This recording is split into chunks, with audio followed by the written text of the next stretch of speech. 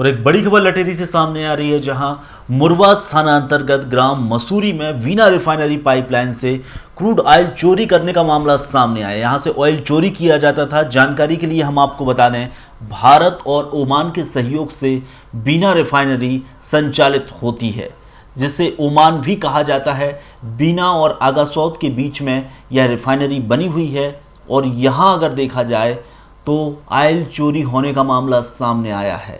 करीब दो tanker crude oil चोरी कर लिया गया है यहाँ से। तो वहीं अगर देखा जाए तो घटना के दौरान भोपाल से एजेंसी के सदस्य मौके पर पहुँचे हैं। एफआईआर दर्ज करवाई गई है। अज्ञात लोगों के खिलाफ मामले की जाँच शुरू कर दी गई है।